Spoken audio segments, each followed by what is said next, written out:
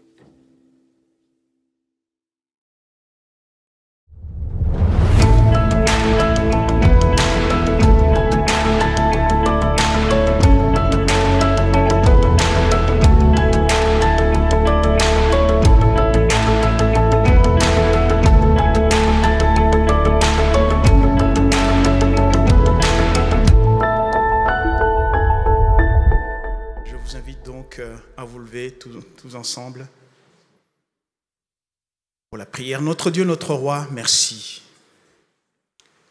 Toi qui es le maître des temps, des lieux, des circonstances, il t'a plu de nous renouveler le souffle ce matin. Nous respirons, nous voyons, nous entendons sans effort. Nous voulons te rendre de multiples actions de grâce ce matin et te dire merci. Et parce qu'il est écrit que tout ce qui respire loue l'Éternel, nous voulons te louer ce matin. Raconter au monde entier que nous t'aimons. Tu es notre Dieu, notre Créateur. Tu es l'objet de notre adoration quotidienne. Que l'honneur te revienne, la puissance, la gloire, la magnificence.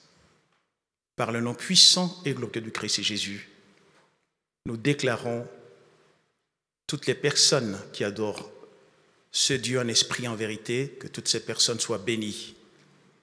Tous ceux qui nous suivent online sont des personnes bénies aussi. Et toutes les paroles que nous aurons à partager ce matin seront des paroles de bénédiction, d'édification, d'encouragement.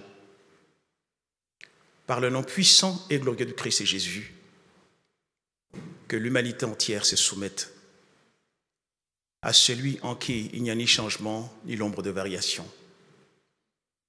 Tous ensemble, nous accueillons son Esprit Saint qui nous conduit par des acclamations.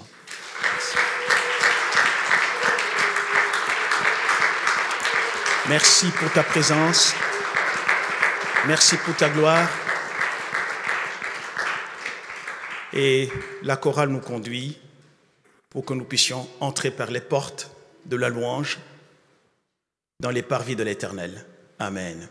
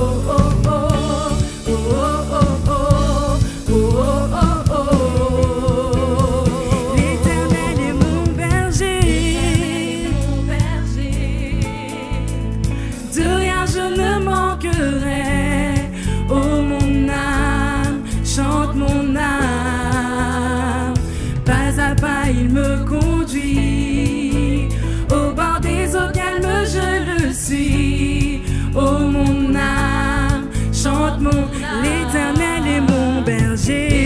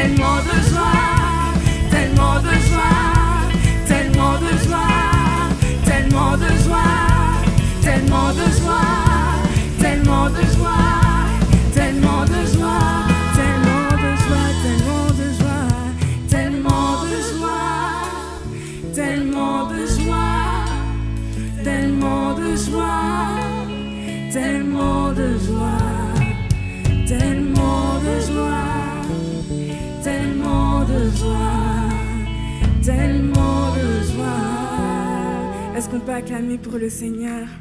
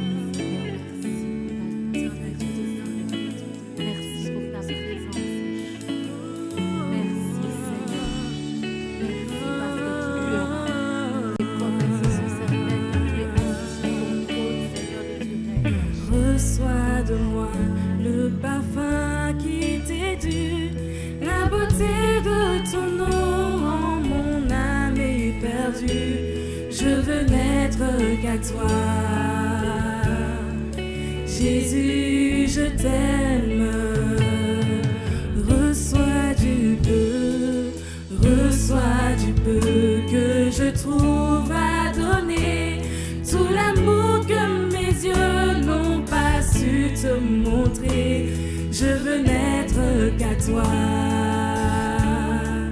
Jésus, je t'aime. Reçois de moi, reçois de moi le parfum.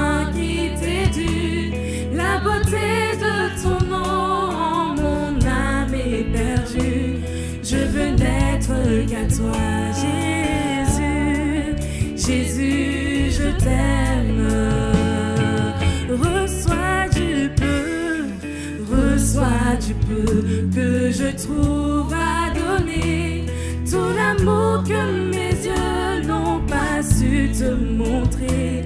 Je veux n'être qu'à toi. Jésus, je t'aime.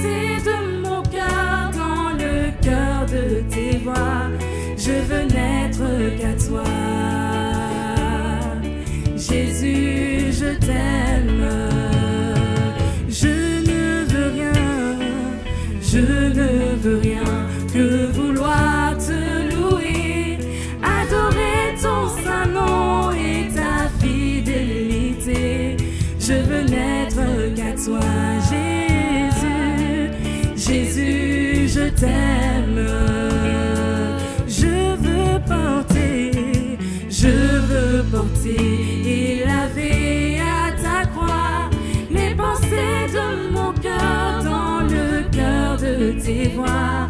Je veux n'être qu'à toi. Jésus, je t'aime.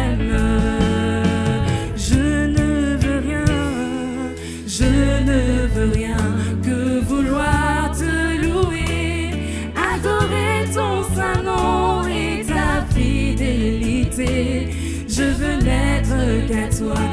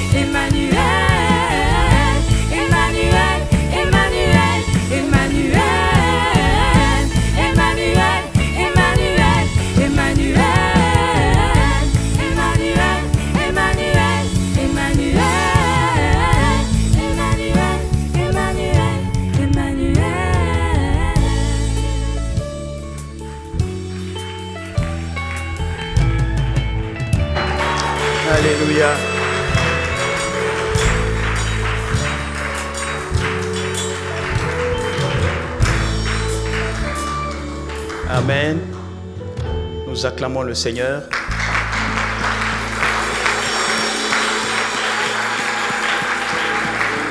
Amen. Alléluia.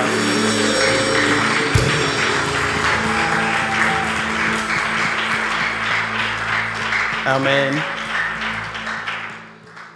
Je vous invite à vous asseoir.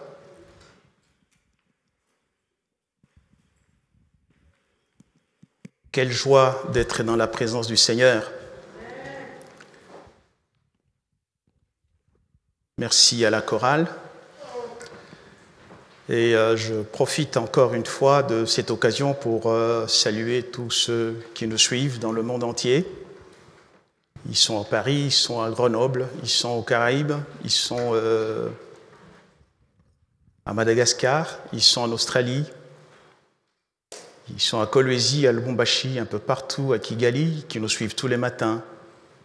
Trouvez ici euh, la joie de partager la parole de Dieu et soyez vraiment bénis. Pendant que le monde s'agite, notre Dieu est assis sur son trône. Nous avons particulièrement un programme chargé ce matin, donc je vais aller très vite, ou du moins je vais vous donner juste des grands titres sur lesquels nous aurons à travailler pendant un temps, en fonction de ce qui se passe aujourd'hui autour de nous et dans le monde, qui annonce énormément de choses, et l'accomplissement aussi de la prophétie biblique.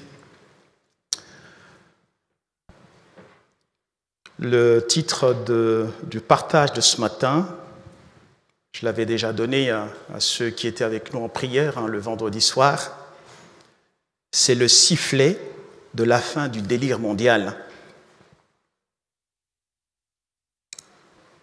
Je reprends le sifflet de la fin du délire mondial.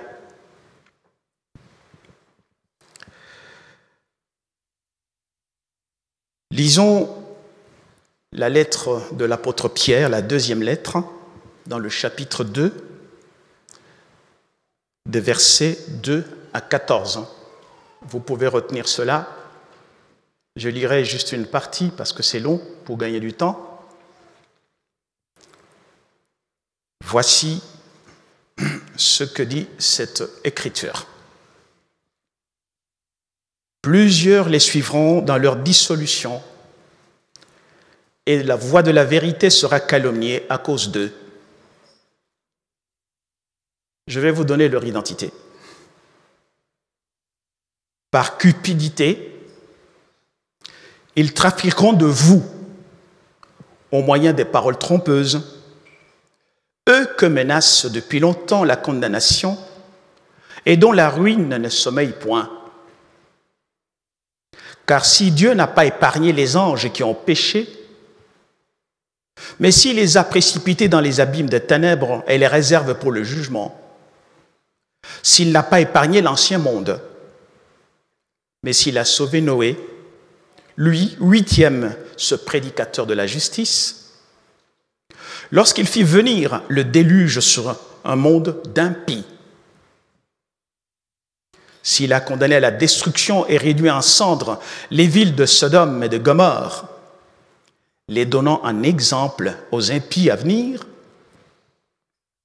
et s'il a délivré le juste Lot, profondément attristé de la conduite de ces hommes sans frein, j'insiste, de ces hommes sans frein dans leur dissolution.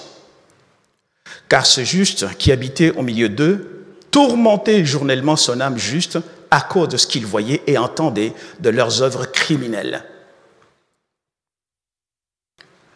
Le Seigneur s'est délivré de l'épreuve les hommes pieux et réservé les injustes pour être punis au jour du jugement, ceux surtout qui vont après la chair dans un désir d'impureté et qui méprisent l'autorité. Audacieux et arrogants, ils ne craignent pas d'injurier les gloires, tandis que les anges supérieurs en force et en puissance ne portent pas contre elles le jugement injurieux dans le Seigneur.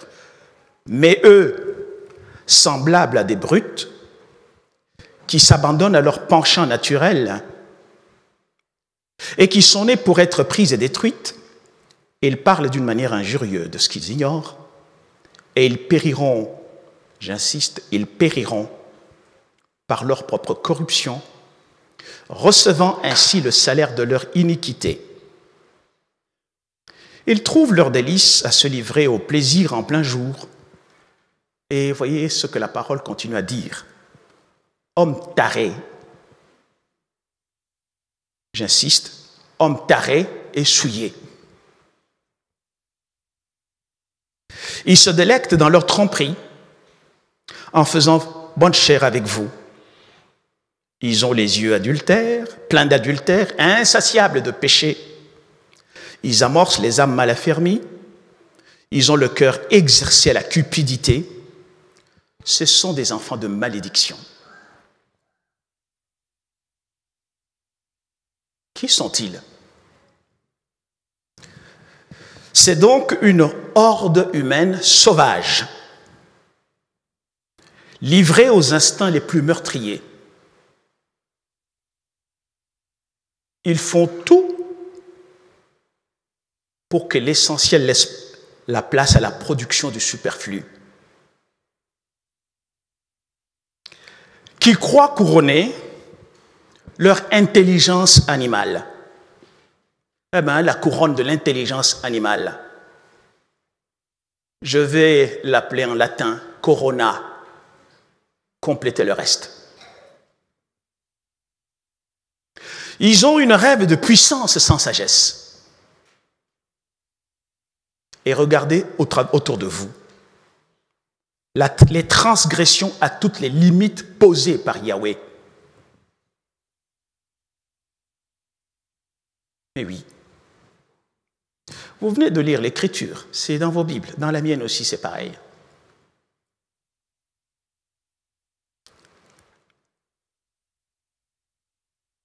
La Bible les appelle des méchants.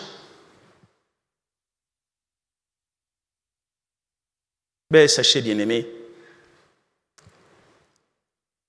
que le jugement du méchant est toujours la délivrance du juste. J'insiste, le jugement du méchant, c'est toujours la délivrance du juste. Dieu dit ici, il n'a pas épargné le monde d'antan. Il précipite les anges qui n'avaient pas obéi dans l'abîme. Il envoie le déluge. Mais il envoie le feu aussi sur Sodome et Gomorre.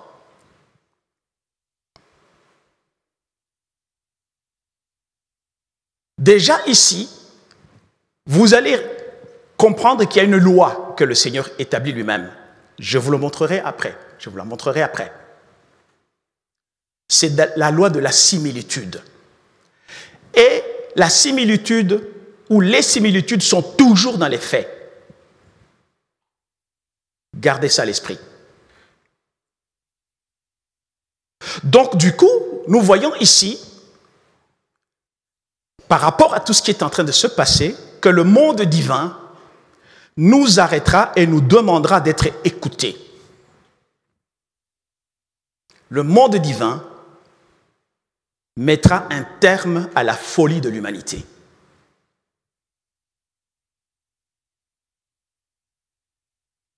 Et l'utopie diabolique qui est poursuivie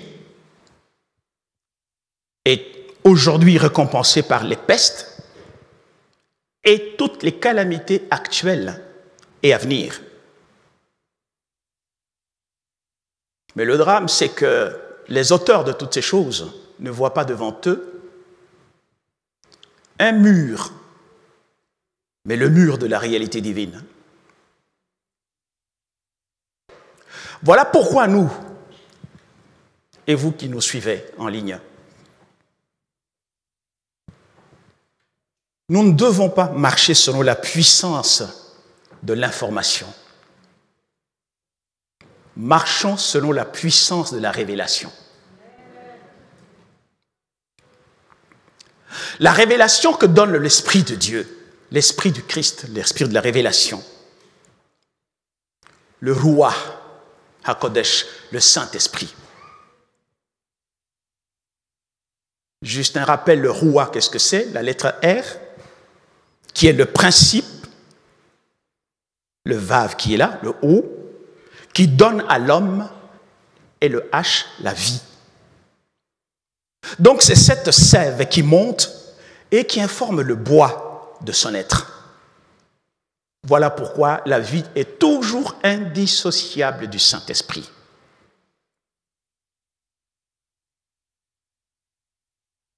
Je voudrais partir ici de l'enseignement que j'avais partagé avec vous sur un des patriarches, Irad. Mais avant d'aller loin, si vous voyez ici l'expression de la colère de Dieu qui vient détruire, deux endroits spécifiques d'abord. Il envoie le déluge, ensuite, parce que le déluge, il détruit par l'eau, mais Sodome et Gomorre, il va les détruire par le feu.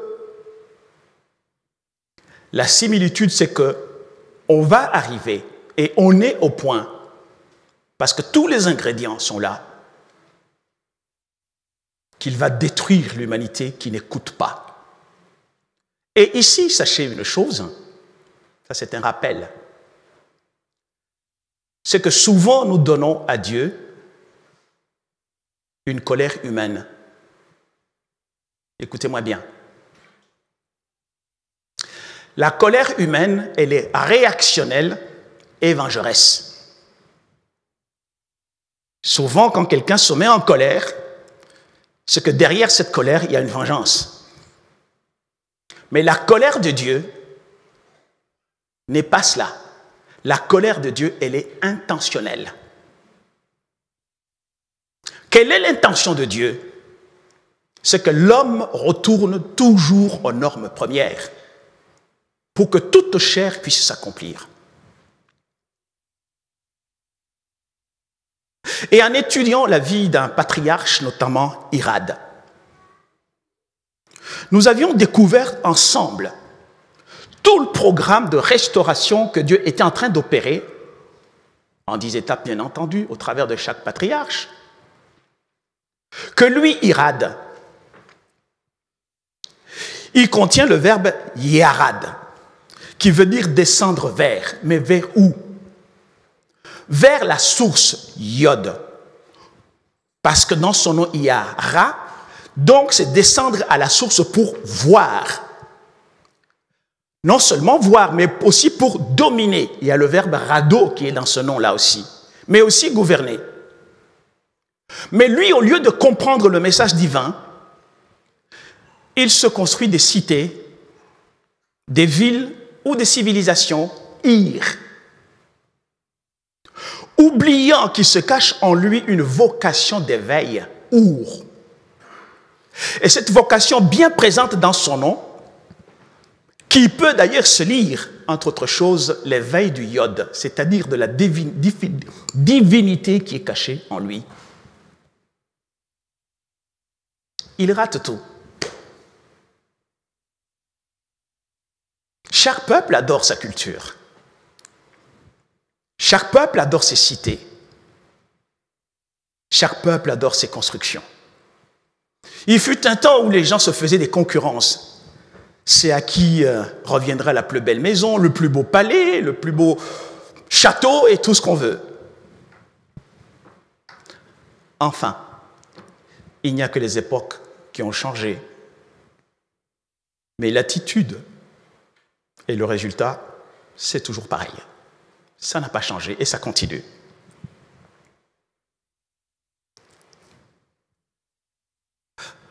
Remarquez cette parole de la, prophétie de Sophonie.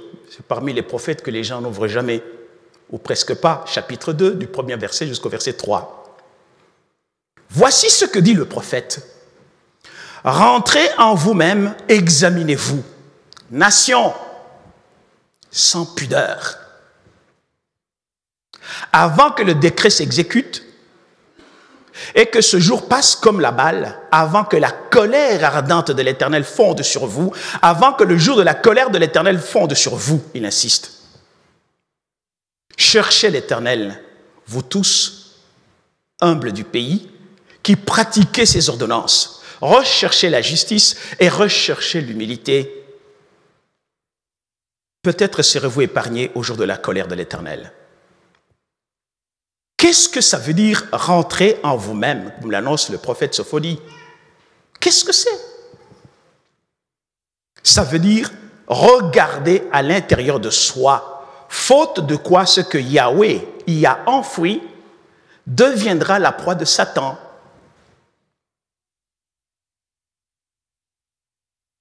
Donc ce patriarche, au lieu de construire les villes ou les civilisations, Irad, il devrait construire sa vocation d'homme intérieur. Mais malheureusement, il se fait ingénieur de haut vol dont les productions défient l'œuvre divine. On va couronner l'intelligence animale, on crée des virus.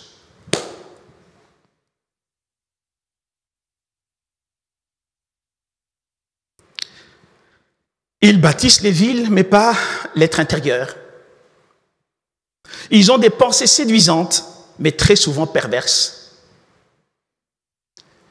Mais dans le langage biblique, on parle de ceux qui sont ingénieux au mal. 2 Timothée chapitre 12 verset 17. Or, tous ceux qui veulent vivre pieusement en Jésus-Christ seront persécutés mais les hommes méchants et imposteurs avanceront toujours plus dans le mal, égarant les autres et égarés eux-mêmes. Et dit, toi, demeure dans les choses que tu as apprises hein, et reconnues certaines. Sachant de qui tu les as apprises, dès ton enfance, tu connais les saintes, les saintes lettres qui peuvent te rendre sage à salut par la foi en Jésus-Christ. Et il conclut, toute écriture est inspirée de Dieu, utile pour enseigner, pour convaincre, pour corriger, pour instruire dans la justice, afin que l'homme de Dieu soit accompli et propre à toute bonne œuvre. Mais regardez très bien, vous savez, pour celui qui ne comprend pas, ce nom irad comprend aussi en même temps le verbe ordane, qui veut dire expulser. Celui qui ne veut pas comprendre, je veux donc l'expulser de ce monde. Mais oui. Le mensonge médiatique partout. Au point même de nier l'existe, les, les évidences. Ils mentent comme ils respirent.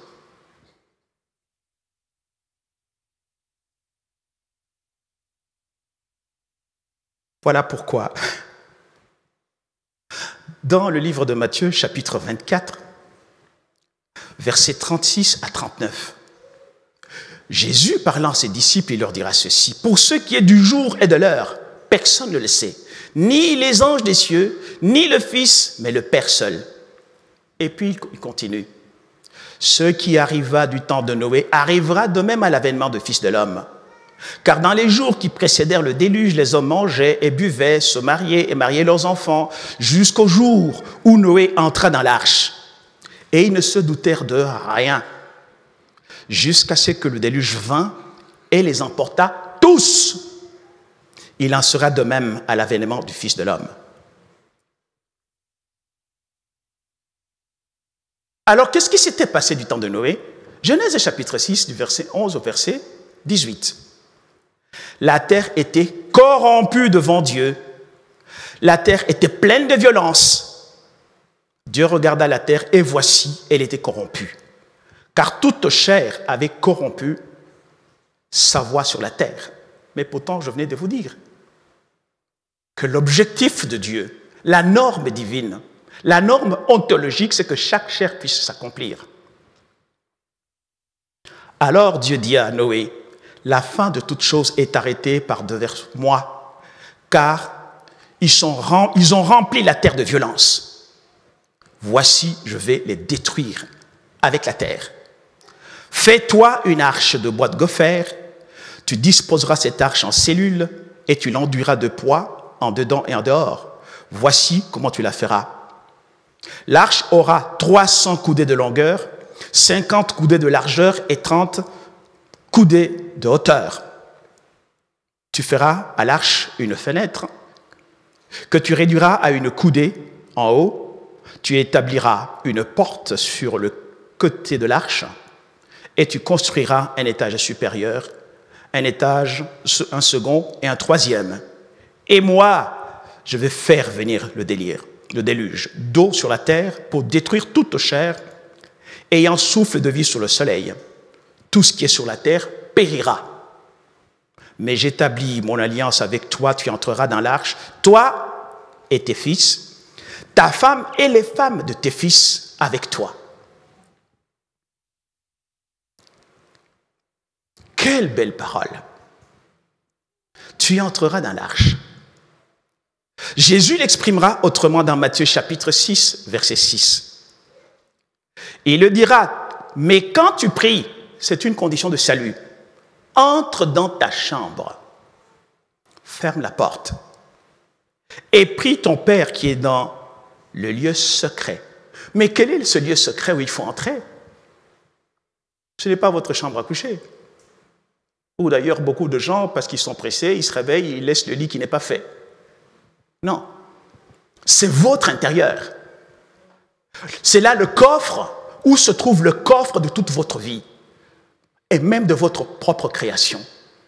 Même d'ailleurs, quand vous allez regarder Dieu lui-même, quand il va dire à Adam qu'il est poussière, qu'il doit retourner à la poussière, c'est dire tout simplement, retourne au lieu du secret de ta propre création. Et là, tu comprendras et tu reprendras le bon chemin pour pouvoir que tu puisses t'accomplir. Soit dit entre parenthèses, le caractère sacré de la parole de Dieu est tel que chaque mot et chaque lettre est utilisée exclusivement pour donner un sens. Voilà pourquoi, quand Dieu va lui dire, OK, tu vas te construire l'arche, ça paraissait une folie.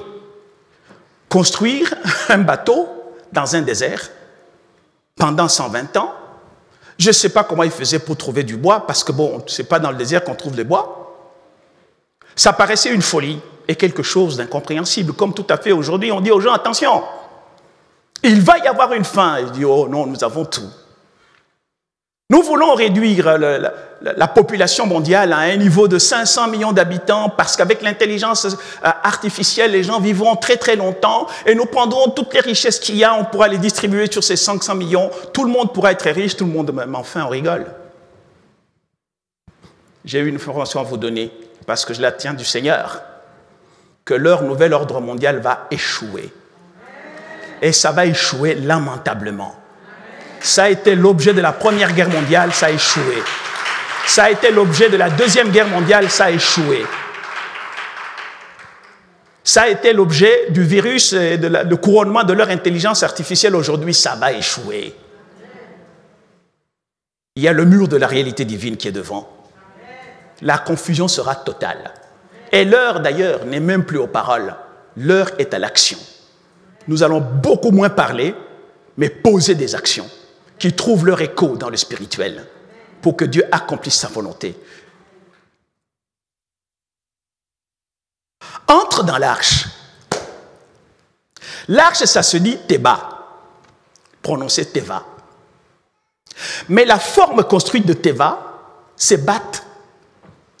Et Bat, ça veut dire la fille, comme Bat Sheva, la fille du serment. Entre, ça veut dire pénètre. Mais pourtant, littéralement, le mot teva, ça veut dire la syllabe, c'est-à-dire l'élément de prière.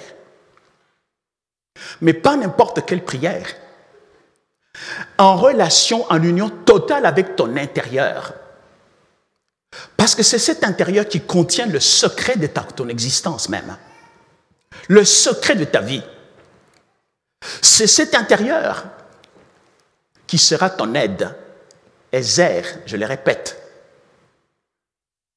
Ou en d'au- en d'autres termes, le principe qui fera ta force. J'avais déjà enseigné là-dessus. Entre donc dans ton, dans ton féminin. C'est pour ça que vous allez voir la manière dont le Seigneur avait disposé cela. Il dit, toi et tes fils, ta femme et les femmes de tes fils. On ne cite pas leur nom. C'est bien l'élément intérieur. Parce que c'est l'homme intérieur qui est d'un grand prix pour Dieu. Ça n'a rien à voir d'une réalité biologique. Chaque personne est appelée à s'accomplir, homme ou femme, mais de la même manière, et à trouver un secours à l'intérieur de sa propre vie, à l'intérieur de lui-même. Le coffre qui contient le secret de ton existence, mais surtout l'objet pour lequel Dieu t'avait donné ce corps. Et c'est là que tu pourras entendre le battement du cœur.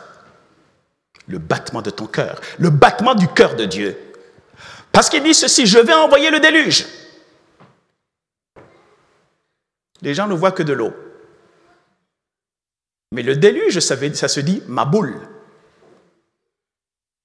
Mais lorsqu'on commence à examiner ce mot ma boule, on découvre une réalité cachée que je vous invite à découvrir. Lorsqu'on isole la lettre bête, il reste moule. Et moule, ça veut dire circoncire. Et c'est là que vient le mot mila, la circoncision. Mais la circoncision, c'est quoi? C'est juste le fait de se débarrasser des peaux animales. Mais les peaux animales, qu'est-ce que c'est? Ce sont ces peaux que Dieu nous a données, dont le synonyme en hébreu est le nuage, le nuage qui cache le soleil, votre propre soleil, qui brille de, plusieurs éclats, votre véritable être, pour connaître une véritable transfiguration. Et lorsqu'on réexamine le même mot, eh ben, il y a boule. Et boule, ça veut dire le fruit. Donc, la coupure des peaux animales pour que la chair bassard se réalise. C'est-à-dire que l'information que contient boule, la fructification, tu vas arriver à la connaissance. C'est pour ça que Noah lui-même, quand il a parcouru ce chemin, eh ben, à un moment donné, la Bible déclare qu'il était ivre. Donc, c'est l'ivresse du Saint-Esprit de Dieu et nu. C'est-à-dire qu'il est arrivé à la connaissance totale.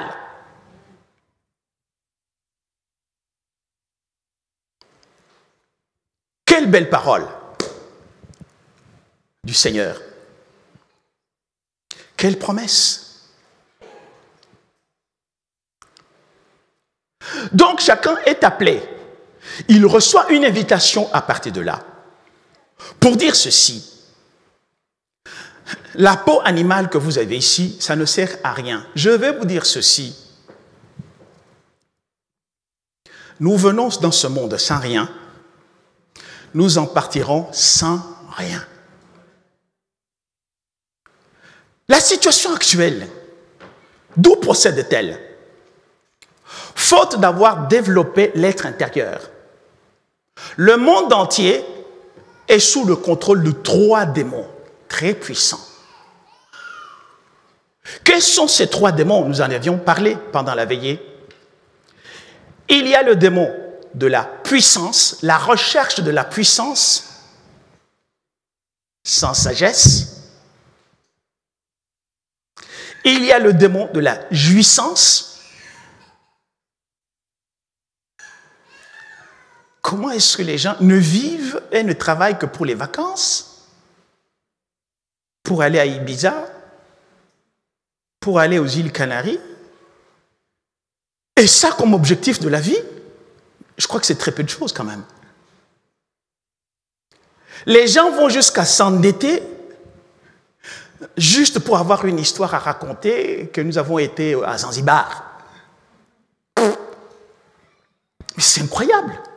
Est-ce que c'est ça vraiment l'objectif de la vie?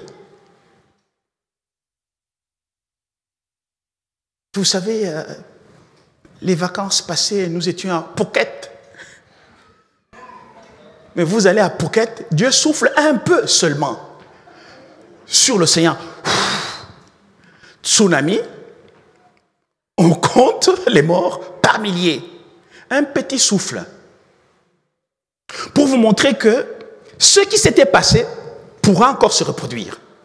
Mais cette fois-ci, comme vous avez lu, il l'avait fait aussi pour la destruction de Sodome et Gomorre, mais cette fois-là par le feu.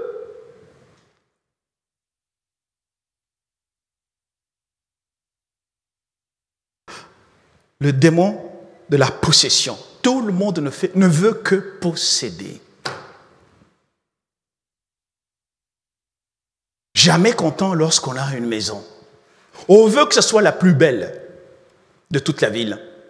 Après, c'est là, il faut encore une autre. On l'appelle la maison de vacances, la, résidence secondaire. Et ce n'est pas assez, puis l'autre, bon, je vais gagner de l'argent, etc., etc. La jouissance.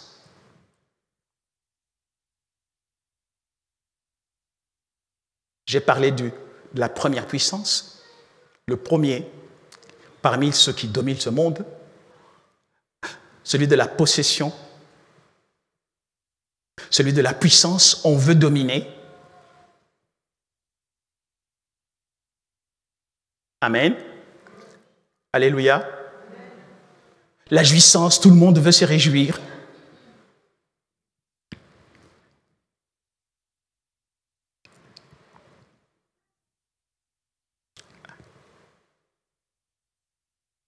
Qui se résume dans cette parole de l'apôtre Jean chapitre 1er verset 2 au verset 15, N'aimez point le monde ni les choses qui sont dans le monde. Si quelqu'un aime le monde, l'amour du Père n'est point en lui. Car tout ce qui est dans le monde, la convoitise de la chair, la convoitise des yeux, l'orgueil de la vie ne vient, point, du Père, mais vient du monde. Et le monde passe et sa convoitise aussi. Mais celui qui fait la volonté de Dieu demeure éternellement.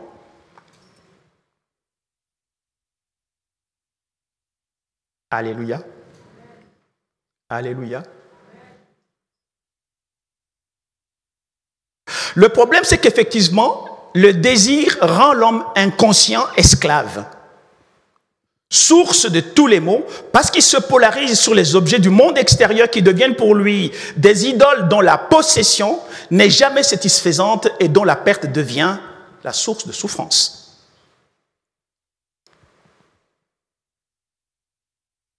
possession, puissance, jouissance.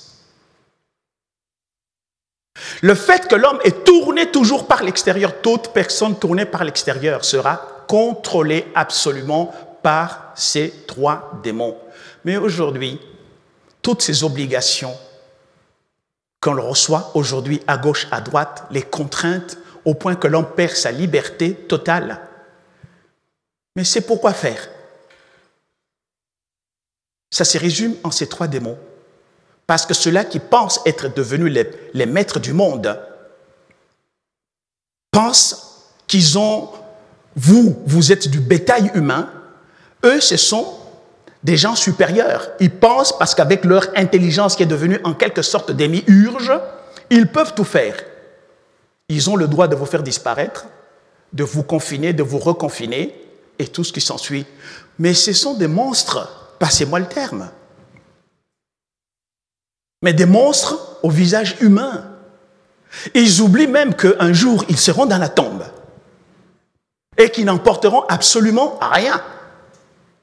Si vous connaissez quelqu'un qui a, emporté quelque chose, eh bien, venez me le dire. Mais aujourd'hui, ces, ces puissances contrôlent vous le savez, des groupes puissants euh, dont on parle et tout ce qui s'ensuit. Et même cette intelligence euh, artificielle qui fait que les gens se réveillent de la tombe, eux qui sont morts au 19e siècle, au 18e siècle, on les voit apparaître dans les élections, ils votent, et puis ils retournent dans la tombe. Et quelqu'un gagne les élections et on fait l'inauguration. C'est l'intelligence artificielle. Ah ouais, ils sont capables de prolonger la vie. D'accord. Mais il y a un sifflet. Le sifflet de la fin du délire de ce monde. Dieu va siffler la fin. ils sont en train de jouer le match, mais il tient le sifflet entre ses doigts. Il va siffler un jour la fin. Toutes ces choses passeront. Mais la parole de Dieu demeure éternellement. Et c'est cette parole qu'il faut absolument chercher. Mais en fait, tout leur discours, la désinformation par les gros mensonges médiatiques, parce qu'il n'y a qu'eux-mêmes qui ne réalisent pas qu'ils mentent en fait. Nous, nous savons qu'ils mentent. Ils font tout pour occulter les vraies raisons de leurs intérêts et de leurs actes. Et vous savez, bien aimé, j'aime beaucoup quelqu'un qui a dit ceci. On peut tromper le peuple un temps, on ne peut pas le tromper tout le temps. Parce que nous avons celui qui nous informe et qui nous donne la vraie information. C'est le Saint-Esprit de Dieu. Lui ne ment pas. Il nous montre leurs intentions avant même qu'elles ne soient formées. Et nous le savons déjà.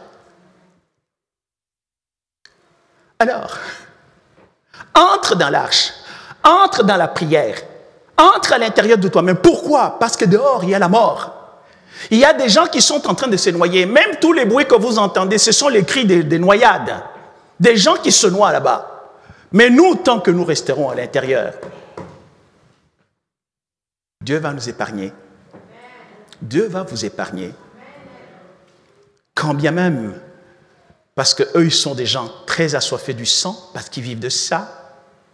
Ils font des guerres parce que Dieu voit qu'il y a de la violence sur toute la terre. On fabrique les guerres comme on veut. On détruit les nations, on détruit les pays. Parce qu'ils pensent que Dieu a oublié, mais non. Celui qui nous garde ne dort ni ne sommeille. Il a toujours un regard sur nous et il n'oubliera jamais.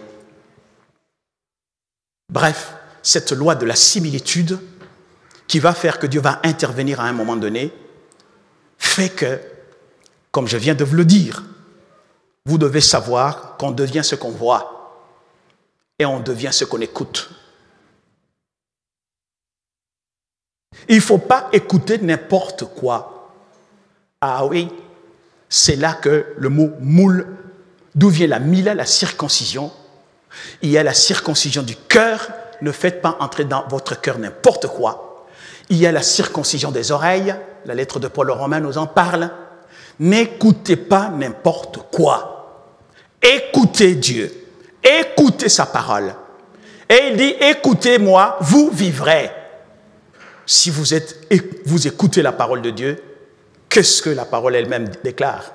L'homme ne vivra pas de pain seulement, il vivra de toute parole qui sort de la bouche de l'Éternel. Quand Dieu te parle, quoi que les hommes fassent, quoi que les hommes désirent, il peut tout arrêter. Alléluia. Il n'a pas oublié, il t'a pas oublié, mais c'est à toi de comprendre. Et tu dois faire attention, tu dois t'occuper de l'essentiel, pas du superflu. Amen. Alléluia. Et je voudrais vous encourager, je vous ai juste donné des titres en vous disant ceci. Le mal porte toujours en lui le pouvoir autodestructeur. Tout mal qui commence quelque part va finir par se détruire lui-même. Et ça, c'est la loi de Dieu. Et le juste un jour, lui qui a tant pleuré, lui qui a tant crié, il se réjouira. Voilà pourquoi, entre autres actions, quand tu entres dans l'arche, dans ce teva, tu dois prier de telle manière que tu sois bien pénétré avec ferveur par cette parole et par les prières que tu es en train de proclamer. Là, le Seigneur va te garder. Tu seras toujours dans la joie. Amen. Alléluia. Mais entre-temps, le monde emporté par le maximalisme de la démence va terminer sa folle course dans la douleur. Et ce que nous vivons aujourd'hui n'est que le balbutiement de sa condition finale. Malheureusement, le temps me fait défaut parce que nous avons beaucoup de choses. J'ai terminé l'introduction à suivre. Amen.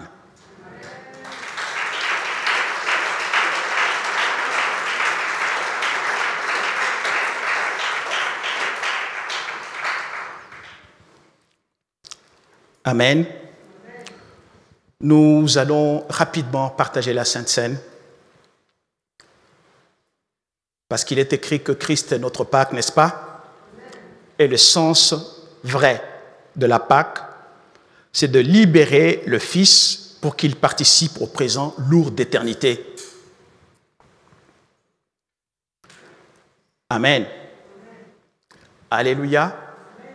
Telle est la volonté de notre Seigneur. Donc le Fils, pourtant, il est caché en vous. Amen. Regardez le livre d'Ésaïe 60.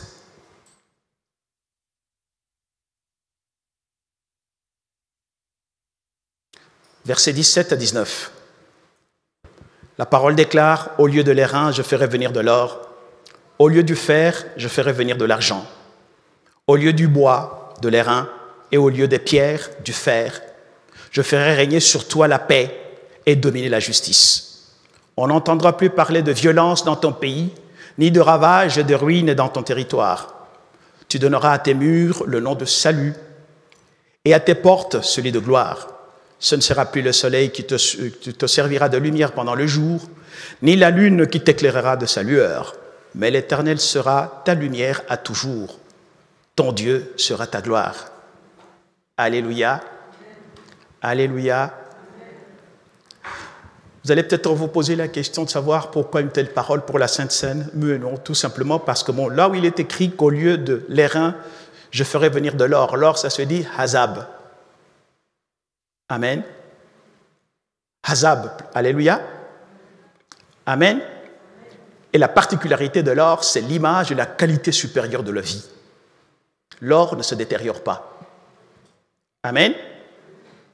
Mais par contre, l'airain, c'est un mélange. Amen. De cuivre et, euh, d'étain, je crois. C'est ce qui dans le bronze. Ça brille comme de l'or, mais ce n'est pas de l'or. C'est pour ça que c'est le métal qui, symbolise le jugement. Mais la particularité ici dit, au lieu du fer, je ferai venir de l'argent. Pour ceux qui étaient avec moi ici pendant la prière, je leur avais dit clairement qu'en fait, le mot fer, ça se dit barzel. Barzel. Et pourtant, bar, ça veut dire le fils. Et zel, ça veut dire méprisé ou ordinaire. Donc, le mot fer signifie tout simplement le fils dans un état ordinaire, mais méprisé. Et ce fils-là, qui est dans cet état méprisé, il reste divin. Il est en vous. Et la particularité du fer, c'est qu'il est rouge. C'est ce qui donne la couleur rouge au sang. Et ainsi, donc, quand Christ et Jésus va prendre la coupe, il va la bénir, il la donne à ses disciples en disant Prenez, buvez-en tous. Mais ce sang de couleur rouge, il contient donc le Fils, et c'est le liquide qui va venir nourrir le Fils qui est en vous. Voilà. Vous pouvez être méprisé, mais cela n'enlève pas votre divinité. Vous pouvez être humilié, cela n'enlève pas votre humilité. Alléluia. Je me souviens une fois, euh, je devais faire une, convention avec euh, les Eglo Women dont je suis euh, conseiller. Je leur avais dit ceci. Est-ce que quelqu'un a déjà vu un billet de 500 euros ici? Bon, ok, moi je l'ai déjà vu. Bon. Allez, mettons, allez, réduisons, parce qu'on aime les soldes ici. 200 euros. Quelqu'un l'a déjà vu? Amen. Prenez ce billet, froissez-le. Et puis vous l'étendez. Est-ce que sa valeur change? Jetez-le à terre, piétinez-le. Est-ce que ça va changer de valeur? Il en est même pour vous. On peut vous piétiner, on peut vous mépriser, on peut vous humilier, on peut vous injurier, mais tu ne changeras jamais de valeur devant Dieu. Tu garderas toujours ta valeur.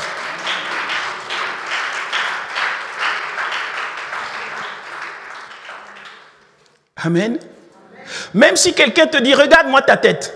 Mais la Bible me dit que j'ai été fait à l'image et à la ressemblance de Dieu. Donc cet homme est en train d'injurier la tête de Dieu. Mais c'est beau. Mais moi, au moins, je suis fier et je le resterai parce que je ressemble à Dieu. Gloire au Seigneur. Prenez, mangez-en tous. Prenez, buvez-en tous. Ceci, mon corps, le Fils méprisé, vivra et vous donnera tout ce dont vous avez besoin, la force, l'amour. Alléluia, par le Saint-Esprit de Dieu. Donc, de cette sève qui va vous informer de ce que vous êtes en tant que bois de Dieu. Alléluia. Pendant que la chorale va nous donner un chant, on va distribuer le corps du Seigneur ainsi que son sang. Mettez-vous tous au bénéfice de cela. Ça va vous protéger, ça va vous faire grandir, ça va vous libérer aussi. Dans tous les cas, j'aimerais voir un démon manger le corps du Seigneur. Il va se manifester et partir tout de suite. Vous aurez la délivrance.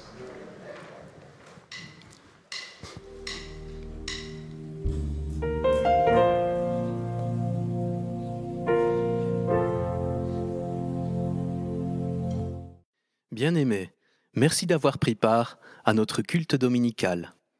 Nous pouvons verser nos offrandes, dons volontaires, dîmes, partenariat à la mission, sur le compte BE 73 06 89 03 72 32 60 en indiquant le but du virement en communication. Pour contribuer au projet du bâtiment, nous pouvons le faire sur le compte BE 25 08 82 80 07 68 82 avec pour communication bâtiment. Notre prochain rendez-vous en ligne sera ce mardi à partir de 18h15 pour l'intercession et la prière pour le salut des âmes. Soyez bénis.